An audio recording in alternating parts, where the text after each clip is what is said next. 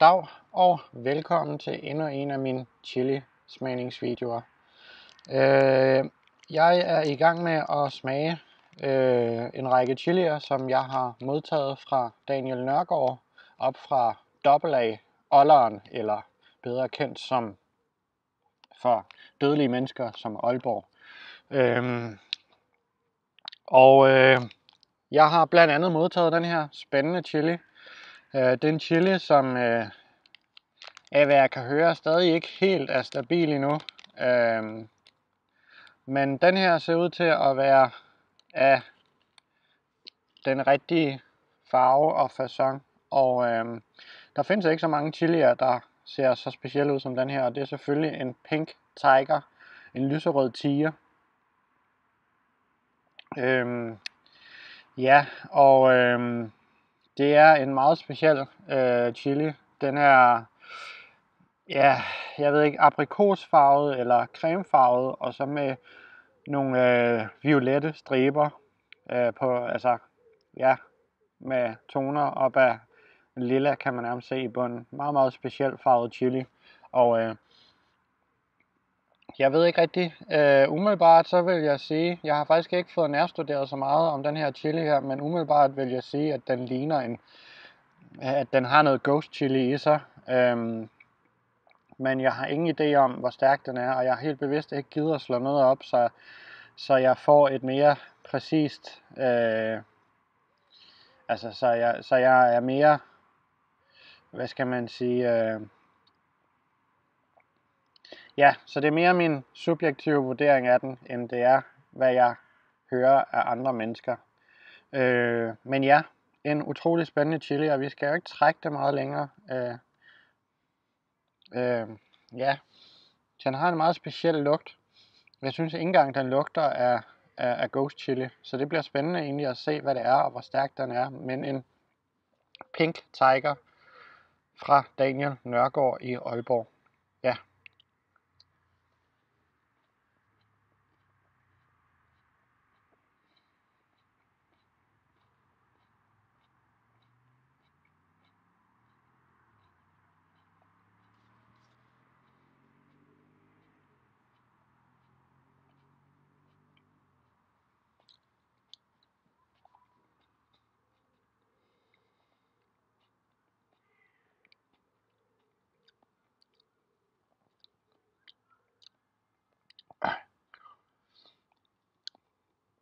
Styrken er meget kontant. Jeg er nået at tykke halvdelen af den.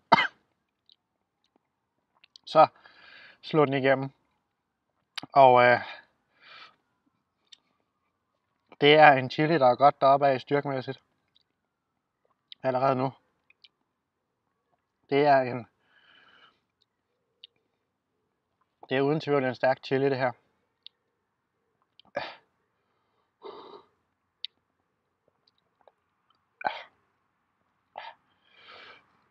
Jeg skal lige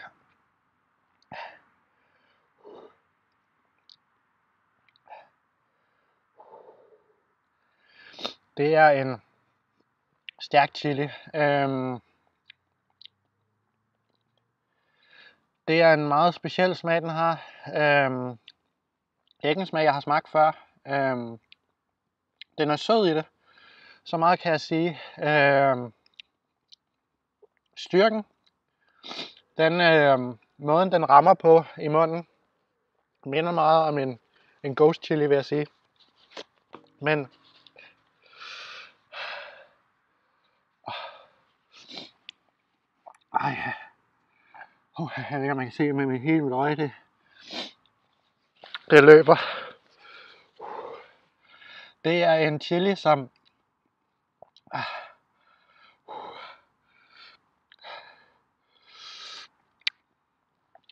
mit ej. Det løber. En chili, som som rammer de samme steder som nogle af de ghost chili, jeg har smagt. Men smagen minder ikke om ghost chili. Det er meget underligt. Den er meget sød i det. Og, og så er den... Og så er den... Øh,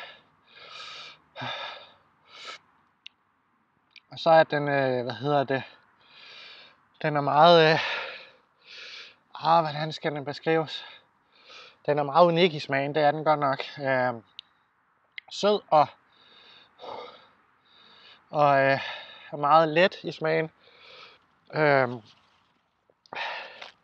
den har måske nogle anelser af noget, der måske kunne være retning hen ad Ghost Chili, men det er så let, at jeg synes ikke engang, jeg kan sammenligne den med en Ghost Chili, men styrken, den er tiltagende, og den kommer langsomt læsende.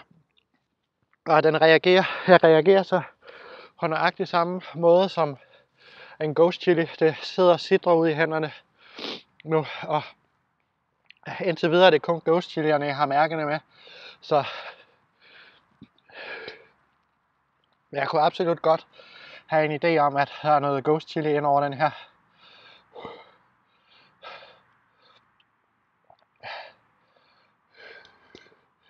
Smagen den er, den er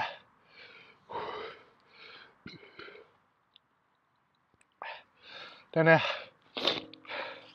utrolig unik. Den er ikke den er ikke sådan voldsom. Øh, den er ikke overdrevet sød, men den er bare sød. Øh, ja, det er måske bare en for sød ghost chili i virkeligheden. Men hvor ghost chili smagen, den ikke er den ikke er så fremtrædende. Jeg synes godt ghost chili kan være meget parfumeret i det. Det er den her. Den her er ikke øh, overhovedet. Det er irriterende, jeg vil helst ikke spytte, når jeg er på film, men jeg har virkelig lyst til at spytte lige nu, fordi min vand, øh, mit mundvand, det løber bare helt vildt. Og det, det brænder, når det er, jeg synker alt det her, det her mundvand.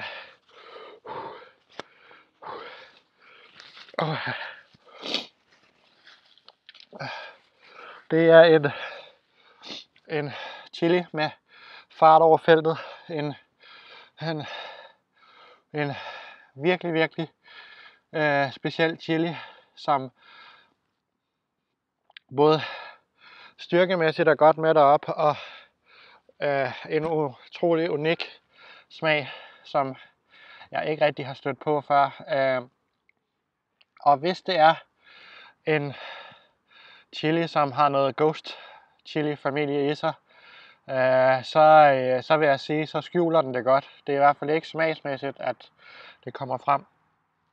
Lige nu, der sidder det i, i øh, gummerne og i, i det forreste af min læber og tandkød. Det er meget, meget specielt. Det er svært at forklare, hvordan det føles. Uh, man har lyst til at lave den her til, som om at det sidder i det her. Der sidder her. Uh, det var faktisk rart. Det kan være, at I skal prøve det igen.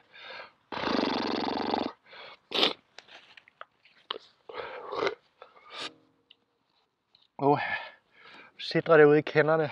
Uh, den kommer virkelig godt rundt. Uh, en virkelig, virkelig god chili med styrke over. Ja, den kommer godt ud i kroppen og sidder stadig lidt ude i kroppen. Sidder i, i, i den her del af, af ansigtet. Det er meget underligt.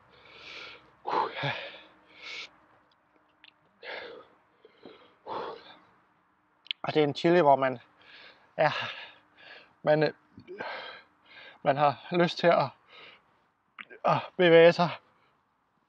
Okay. Den, er, den kommer godt ud i kroppen, det gør den virkelig. Okay. Øh, Ja, hvor stærk er den?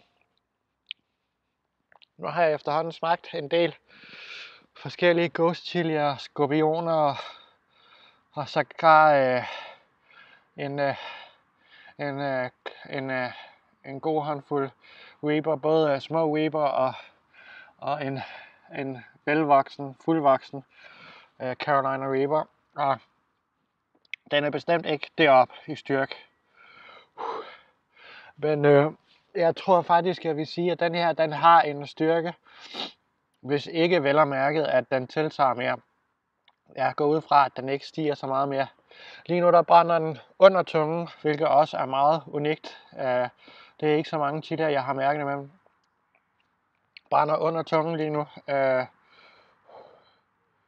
øh, og øh, styrkemæssigt, der vil jeg sige, øh, jeg tror, at den har toppet, men, men øh, jeg vil sige, at den, den er på styrke med, med en, øh, med en bok. En god but Orange Copenhagen. Øh, den ligger der op af, måske lige lidt under, eller i samme leje, den her Pink Tiger. Øh, jeg synes ikke, den er helt lige så kraftig som de røde Ghost Chilier, jeg har fat i. Men, øh, men den er i hvert fald deroppe af en speciel, unik chili, som øh, kommer godt rundt i kroppen på mange specielle måder, og så har den en unik, øh, ikke unik, en unik, sød smag, som ikke smager ghost chili, men jeg har da en, en idé om, at det må være det, som den er hen af på den måde, som den reagerer styrkemæssigt i kroppen. Som sagt, indtil dags dato er det kun øh, ghost chilier, hvor jeg har kunnet mærke det ude i mine fingerspidser og ude i armene. Øh, og det har den her i hvert fald gjort. Øh, så ja, men jeg beklager længden af det her, den her anmeldervideo, men, men jeg synes, den fortjener en, øh, en lang video, øh, en lang beskrivelse, fordi at den er virkelig unik. Den har toppet nu, og den er ved at aftage, så jeg tror, jeg vil runde videoen af, og så vil jeg sige tusind mange gange tak til Daniel Nørgaard op fra Olleren, fordi han øh, havde lyst til at dele sådan en fantastisk chili med mig. Så endnu en gang tak til Daniel, og håber, at I har nydt den her chili anmeldelse. Tak fordi du kiggede med. Hej.